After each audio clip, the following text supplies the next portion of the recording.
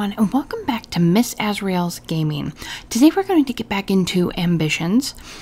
Um, so if you remember from the last video, we had just went to that, uh, like, I don't know, ball or noble get-together, whatever if you want to call it that, and we basically just got the crap ringed out of us because of who our fiance is, which we still haven't met him yet and he's the whole reason we're here in Paris. And I kind of just get the feeling that he might not be who he says he is. Uh, yeah, so I mean, let's just uh, get back into it and see where the story is going to go. So you awaken the next morning in bed and uh, that still feels unfamiliar. In the process of waking up, you start to recall last night's humiliations and wish that they were merely the, the product of your fitful dreams. Unable to go back to sleep, you spend some time tossing and turning in bed before finally sitting up. Okay, so nothing is going to make nothing is going to make last night go away. The only option is decide what to do next. You feel exhausted, not physically, but in your very soul, like your fate in Paris has already been decided and that to remain here would be pointless. It would just be the humiliations of last night, over and over again. However, stronger than that exhaustion is the simmering rage you feel at the outrageousness of your circumstances, at the injustice of your treatment, and at the thought of going back to your tiny village after finally making it here in Paris. No, you must not go back. You cannot go back, not while a single candle of your ambition still burns. Camilla pops into your room, already dressed and ready for the day. Bonjour, madame, she beams. It looks like you had quite an active night. Is there anything I can get you? So please find me a spare pillow and smother me. I'm not sure. Do you know how to make a murder look like an accident? Some kind of refreshment, please. Uh, let's go with that one. Certainly, madame. What can I get you? Camille asked with a smile. Tea, please. I'll need to keep my wits about me uh, if I'm to regain people's trust. Have some wine. Numbing the memory of last night will make me less anxious. Let's go with tea. Camilla returns so quickly with the tea that you're certain she made it ahead of time. It's piping hot, fragrant, and not too bitter. You drink the brew in silence, the gears of your mind slowly getting up to speed. The tiredness fades, your anger does not. You've gained a little credibility. Oh, good, we got it back up to five.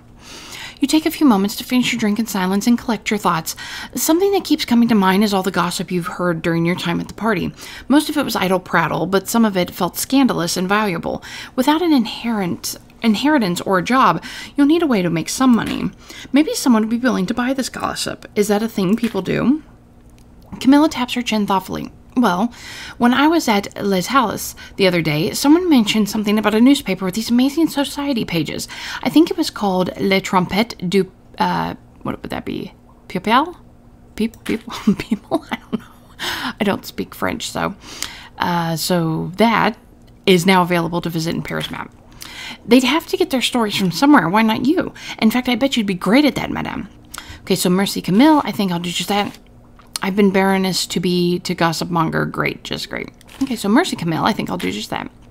With that, your day begins. Okay, so we're going to explore Paris. Okay, that's the dress shop. Okay, so there's that's the place here. So a small shop run by the dressmaker Fatima. Oh, I didn't. Did I click on that? Oh, that's the one I want. Okay.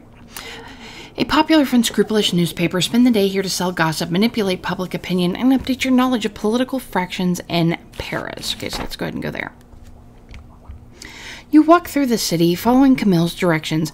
Eventually, you find yourself threading through narrower and narrower streets. The alleys packed with refuse and the occasional uh, vagrant napping in the shade feels almost oppressive in their closeness. Suddenly, the alleys open up into a wider street near the square. You can hear the splashing of a fountain nearby. You finally find the sign of Les Trompettes du Peuple. The paint appears to be fresh, but the office seems awfully small. The door is locked, so you give it a knock. Nobody answers. Looking around, you find a hastily written note lodged in the doorframe. It reads, Office temporarily closed. Engaging in emergency fundraising efforts. We apologize for the inconvenience. Management. P.S. Fear not the setback. The light of journalism shall never fade. It's at that moment that you realize the splashing of the fountain is getting louder, accompanied by some of the most inventive profanity you've ever heard. Against your better judgment, you decide to investigate. Ah, a reedy voice shouts triumphantly. You come upon a man in grubby finery up to his knees in the fountain. His shoes are carefully been placed at the water's edge. He does a little jig as he drops wet coin into a snuff box, which he clutches tightly in his other hand. Noticing your presence, the man in the fountain turns to you with a nod and a smile that attempts to be ingratiating. Bonjour, madame. Are you Pierre, the esteemed editor of Le Trompette du Peuple? Are you serious? This is your fundraising? What it's His smile broadens and the man bows, his manner suddenly as elegant as the finest courtiers of, of Versailles. Why, in fact, I am, bonne dame. My name is Pierre, uh, Renaud Renaudot. How may I be of service? I have some valuable social information for sale, no tutorial. Okay, so if I wanted to sell some gossip, how would that work? So let's do tutorial. A devious smile crosses his face. New to this, are you? Don't worry, it's much easier than you think. Okay, so this list shows all the pieces of gossip that you have at the moment. Click on one of them. Okay, gossip value is determined by the tier and its freshness, but it also has an effect. If you peddle influence, I'll take the gossip for free, but you can use that effect to change the standing of the faction. However, right, you need. Uh, however, right now you need money, so click on the sell gossip button. Are you sure, madame? Okay, so we get uh, 30, um, 30 money. So you do this. I think it's is it francs. It might be francs chance. Uh, there should be no chance of the public finding out. Okay.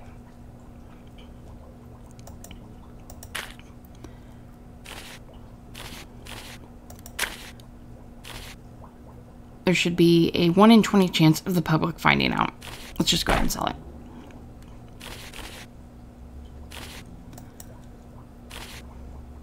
Okay.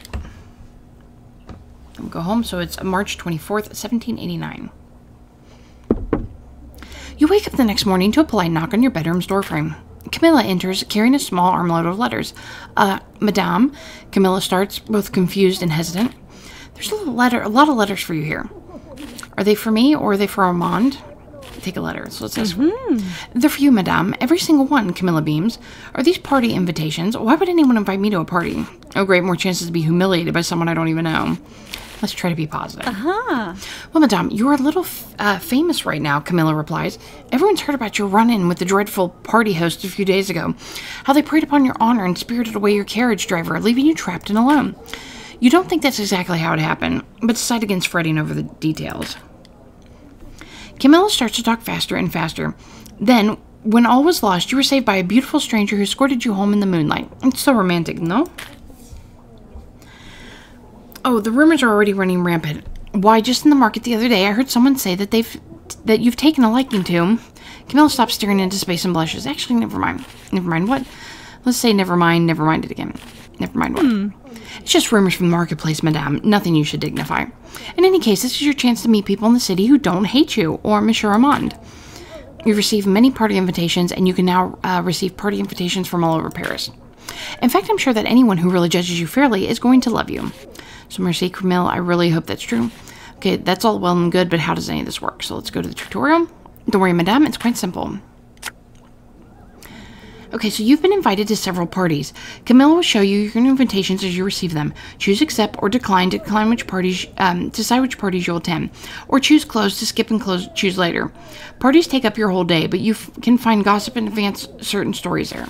So the request uh, attendance of Madame Yvette de Decroix to his choir recital on the 26th of March, 1789. The intimate party should be very heightful, height of cheerful gaiety. Okay, so the this party will give you a level of exhaustion. Accepting today will reward you five credibility. Ignoring this invitation will cost you five. You receive church gossip at the party. Let's go ahead and accept it. Okay, so um, request attendance of Madame Yvette Decroix to her wine tasting on the 29th of Mars, 1789. This intimate party is sure to be very height of merriment. Attending this party will give you a level of exhaustion. Accepting today will reward you five. Ignoring it, you get minus five. You receive bourgeoisie gossip at this party. Can I accept more than one? This isn't like the same day, is it? Let's just accept it. Oh no, these must be at the same time. Yep. Okay, so we can either go to request the attendance of the fascinating Madame Yvette Decroix and, and to his opera gala on the 3rd of 1789. This intimate party is sure to be a most spectacular display of generous amusement. Um, attending the party of his auction, get credibility, receive crown gossip. Uh, let's see. Madame Bailey requests attendance of the infamous Madame Yvette de Croix to her po- poetry salon. This intimate party is sure to be the purest form of effervescent celebration. Okay, so credibility five. So, so you will receive revolutionary gossip. Okay. Um, I'm gonna accept the opera and decline that one. Okay, request the attendance of Madame Yvette de Croix to his military ball on the 5th. Sentiment party is sure to be fried to merriment. Okay, so the same thing, so we'll go ahead and accept that one. Plus, it boosts my credibility. Okay, so you can select an, any invitation on the calendar to see more details about it. Deciding to attend a party the same day that you receive an invitation gives you a small bonus of credibility.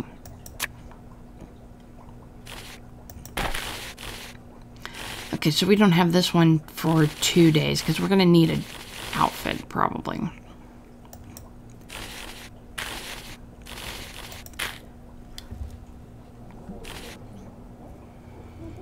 Oh, a Hessian Doorman. Fabric shortage. The Maid and the Archer.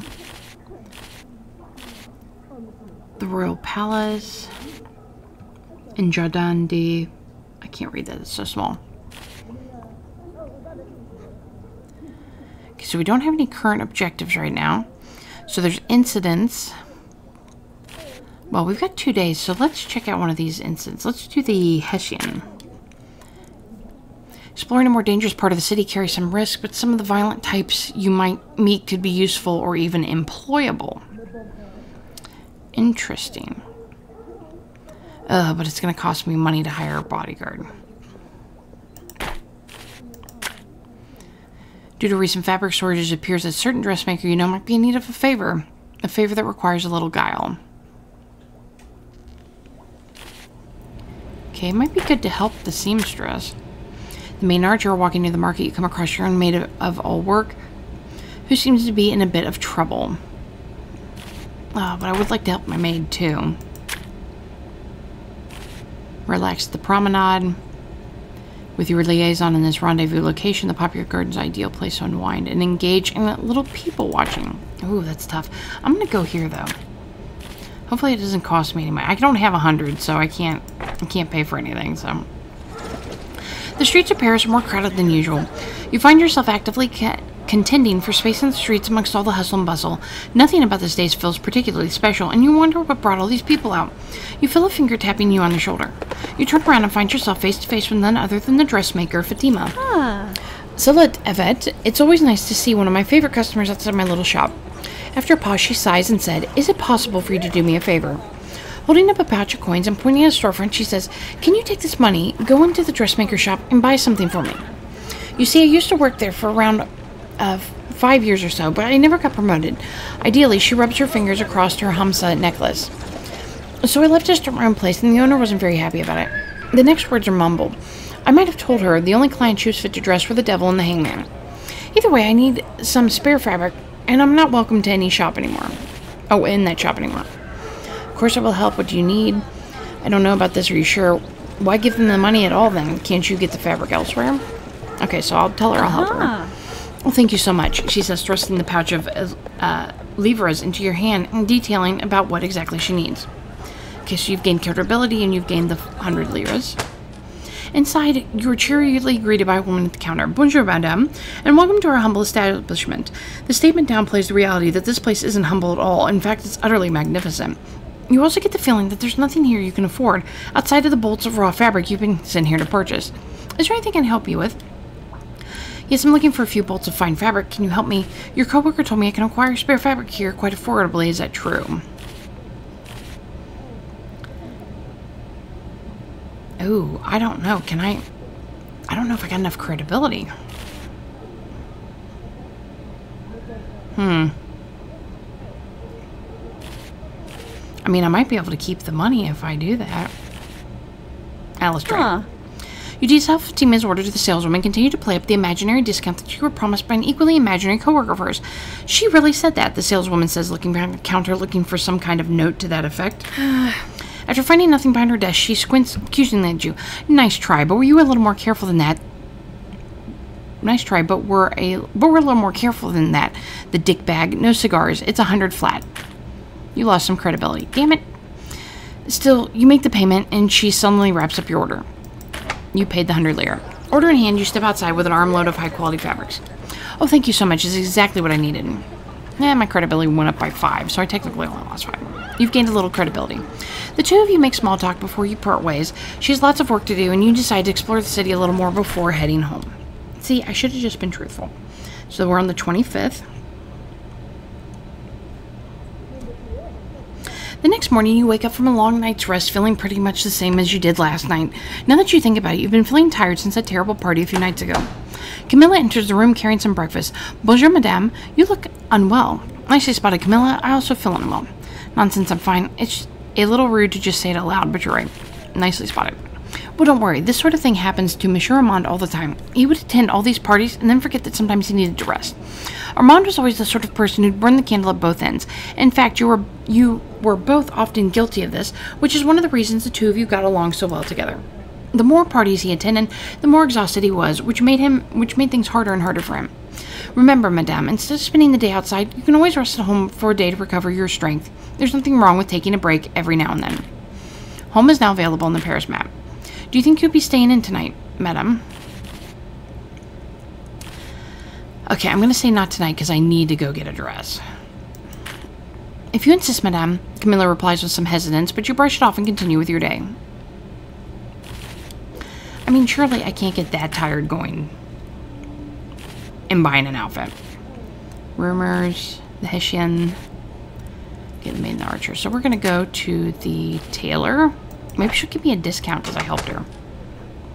You arrive at Le Petit Mongol to find Fatima already engaged with someone else. Hmm. Please, Maurice, you have to understand this place barely has two spare coins to rub together right now, and I only have a few regular customers left. I simply don't have enough work to hire on extra help. I'm sorry. I understand, Fatima. I'm just been it's just been months without work. I'm starting to think that I'll have to leave town if I can't find something soon. The man sighs and shakes his head. Please just tell me that you haven't found someone better. What? You know that's impossible. I've never met a man with more uh, precise stitching than you. oh, Fatima, you flatter him. Please stop, he laughs. Actually, no, please keep going. Fine, I may be great at making garments, but you turn them into second skin. Anything you work on gets new life breathed into it. It's how you say, uh, fashion goes and goes, but well fitting clothes never go out of style. That's the one. oh, Madame de Croix, you're here. Fatima yelps, suddenly noticing your presence. What may I help you with today? Did I hear correctly that your friend Maurice is looking for work? Yes, I'm here to purchase some clothes for Fatima. Uh, if I say that, it might charge me more money than it's worth. And then I might not get my outfit. I don't know. Okay, so did I hear correctly that your friend's looking for? Ah, yes, you heard correctly, madame. I'm tailor by trade. If you're looking to employ me, I can update your outfits to restore some of their novelty and alter their sensibilities when in whatever direction you desire. Ooh. I might also be able to help you negotiate a decent discount at a certain provider of elegant finery. He he might be right, Fatima sighs. My services cost approximately 40 lira per week. Does that feel acceptable? Um. Hmm. I'm gonna go bankrupt. Do I have to pay it now? Hmm. Oh, I don't know. Okay, I'm gonna say it sounds reasonable. Ah, yes, I assumed it would be so.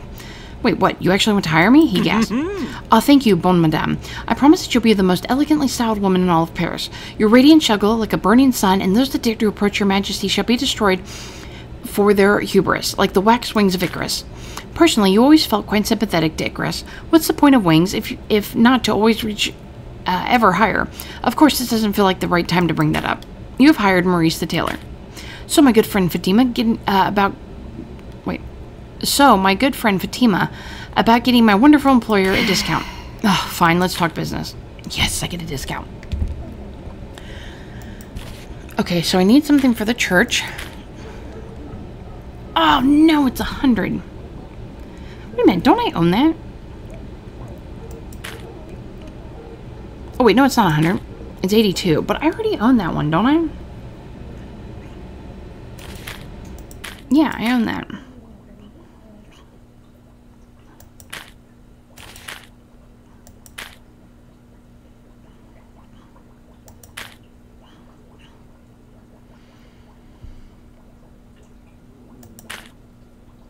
Hmm.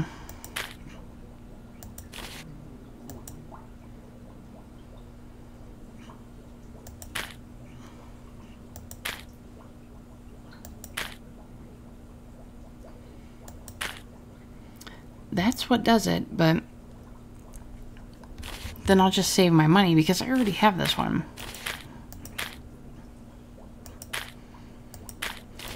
And the novelty's not worn out yet, so I'll just go ahead and leave. Okay, so March 26, 1789.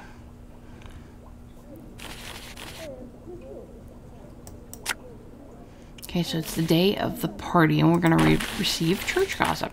Okay, go to the party.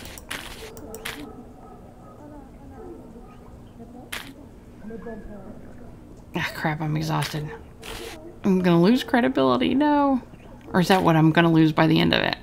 Ugh, I don't know. Okay, so as your carriage nears the party, you consider taking one last moment to assess your preparations. Okay, so assess. You pause to consider how well rested you are. Unfortunately, you can feel the exhaustion set in as soon as you look past the door towards the enormous crowd of party guests. Tonight is going to be a long night. Yikes. Exhaustion has been given your credibility penalty. You check a tiny mirror you keep in the carriage to see that you're wearing your humble caraco and skirt to being uh, party being held by the church. The guests have no strong feelings on your outfit, and credibility has not changed much. With preparations like this, results tonight could be a toss-up.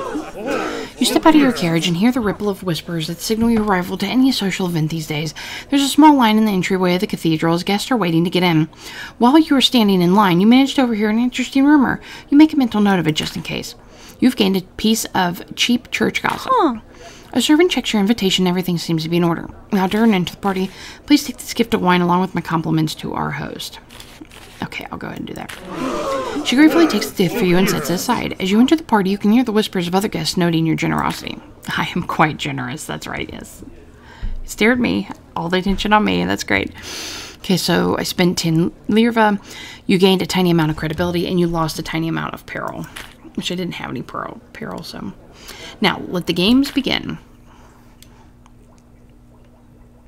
Oh my gosh, I only get two turns and there's so many people. Okay, so uh, it appears that the party's host has left their study unlocked. This might be a valuable opportunity for someone of more unscrupulous nature. Oh, I'm not gonna... I'm not stealing from a church. God, that's horrible. Okay, you find yourself speaking with a woman who could tell you of some gossip concerning the church. All you have to do is deflect the tiresome, belittling, and particularly boastful church patron. You come across a woman interviewing a man for the sake of her book, but something doesn't seem quite right about the man's outrageous claims. Not much credibility in that. A jilted gentleman has sought out your company, and he has quite the grudge to settle. However, firmly held grudges often lead to loose tongues.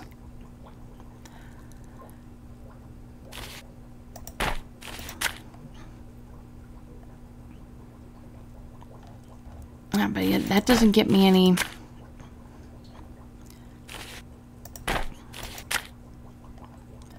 This could get me five credibility. And bourgeoisie gossip. But I could lose 20, which I don't have 20. But all the rest either gets me zero or gets me negative. So let's uh, let's try this one. You step back in the vestibule for a moment so you can collect your thoughts and get the first opportunity to speak with any new arrivals of the party. It's then that you see two individuals speaking together in the corner. The fact that they're trying to stay from everyone else only increases your interest in their conversation. You recognize neither this bespectacled woman, not the nor the extravagantly dressed gentleman that she's speaking with. However, judging from the fact that she pauses to write whatever he speaks, you can surmise that she's interviewing him. It becomes apparent via your spine that these people are Nikkei uh, a foreign author looking for inspiration for her latest novel, as well as Guillaume de a self-styled libertine philosopher, an, an appellation that doesn't seem to require much in the way of academic credentials. Huh. You describe yourself earlier as a patron of the arts. What is your relationship with theater? Have you sponsored any performances? Ooh. I am no mere tight-fisted patron, good madam. I am an inspiration, a muse, if you will. In fact, when, um, oh my gosh, these words, Beaumarchais wrote The Barber of Seville, I was his inspiration for Count Almaviva. The, dre- the sharply dressed man proudly replies between long gulps of wine. From what you remember of that play, that's not something to be particularly proud of. It also doesn't sound even vaguely true. Mm-hmm. Oh, this will be fantastic for my book, monsieur. I must ask, how did you and uh, Monsieur Baramacas meet? Ah, well, we met at a banquet held by a visiting Algonquin prince. I'm sorry, did you say an Algonquin prince? He came across the ocean from the Americas and then held a banquet? The author replies far more suspicious of this particular claim. Gamira glances to you and raises an eyebrow. He knows his game is up. I know it sounds outrageous, but he's serious about the banquet. I myself was there. Madame Ekolov, it sounds unlikely because it never happened. This is just fable. Not only was I there with him, so was my tailor Maurice, who can attest to the splendor of the evening. The choice will solve the problem via your fashionable tailor. Medium credibility. What's considered medium? Let's try my tailor and see if it works. Barely concealing a smile, Monsieur de Stable steps back to admit Maurice into the circle of conversation. My tailor follows me to the party? Hmm, I'm really fancy. Maurice steps in, the wheels of his vivid imagination already turning. Ah, yes, but of course, it was a fine evening of visual delight. I had loyally followed Madame Duclos to this festival, as I festivities as I was searching for sartorial inspiration among the Algonquins' uh, unique configurations of paints, buckskins, and expert beadwork. Maurice then launches into a lengthy soliloquy, considering the entire and beauty of those natives to the Northern Americans. It's so effusive and detailed that even you start to forget that none of this ever happened. Madame Evoco is paying rapt attention to your tailor, writing so ferociously or furiously that you're afraid that her notes might burst into flames. After your collective font of outrageous lies finally runs dry, Nikia leaves, satisfied with her research, and Maurice returns to whatever was preoccupying him earlier. Merci beaucoup for your assistance, Yvette. I couldn't possibly have done this without your help. This also means that you have some decent gossip, given. Uh, this also means that you have some decent gossip, given that you just caught a prominent figure in the bourgeoisie flam- uh, flagrantly lying about his accomplishments. However, Guillaume doesn't necessarily need to know that. You gain a piece of cheap bourgeois gossip. Well, I'm off to seek other entertainments. Au revoir, madame, he says with an overlay elaborate bow. With that, he leaves, and you decide to examine the rest of the party. Perhaps you'll find another opportunity out there amongst the crowds. I got cheap gossip.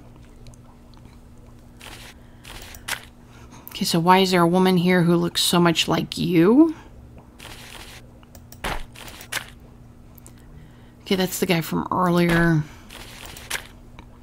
Print your speaking with a woman. Okay, so that was earlier as well.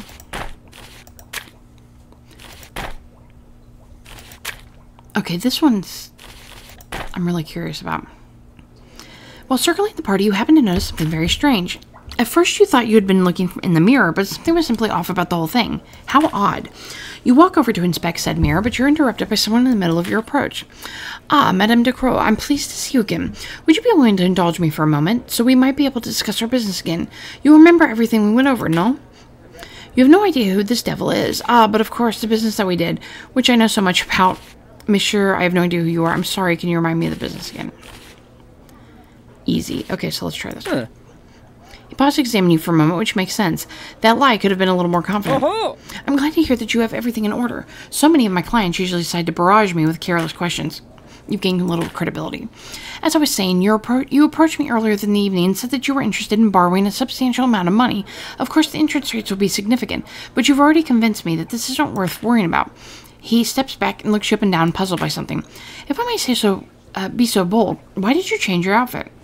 Better yet, uh, better yet, what do you think of it? Monsieur I can assure you that I haven't changed my clothes. Oh, well, why don't I allow my tailor Maurice to explain that? Hey, you know what? Oh. Come on, Maurice. Oh, it's quite simple, you see. Maurice begins as he joins at your side. Madame Ducrot has taken to changing outfits at key points of the night in keeping with the latest trends from the wealthy free women in my home of Saint Domingo. It, imp- it, marks important turning points in the evening with the same visual splendor as a lighthouse seen from a great distance after many days at sea. Believe me, it will be all the rage soon enough. Ah, I didn't realize you were so ahead of the times. The banker replies, having clearly found himself in uncertain territory and looking to drop his original question as soon as possible. You've gained some credibility. He talks with you a while longer, and it appears that he already intends to loan you a large sum of money, a sum so large that you couldn't possibly pay back. You try to dismiss the thought, but he's turned out to be quite insistent, which makes sense, as anyone loaning money with a high interest rate is secretly hoping that you'll never be able to fully pay them back. Why else would they do it? Talking with him a bit longer, you manage to both excuse yourself and convince him that you need more time to think on the positively on this positively life-ruining decision. However, your first priority is finding the mysterious woman who's pretending to be you. Oh, that's not good. Okay, so I got some cheap church gossip, which says a country priest in Paris from the Estates General has been granting asylum to accused criminals. He is inventing, um, intervening on behalf of the people or obstructing justice. For the cheap bourgeois gossip, some representatives from the Third Estate have gotten free rooms to stay in from prominent hotelier. However, they're staying for a long time. Is this a sign of friendship or of the I can't representatives taking advantage of their host. Okay. Okay, so March 27, 1789.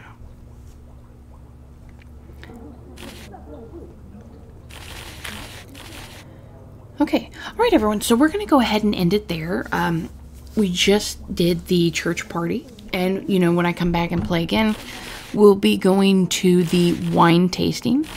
Uh, so that'll be, you know, interesting to see how that goes. We didn't really meet any of the like more prominent characters in the game for the church one. I was kind of surprised because I know that there's a priest that you can talk to.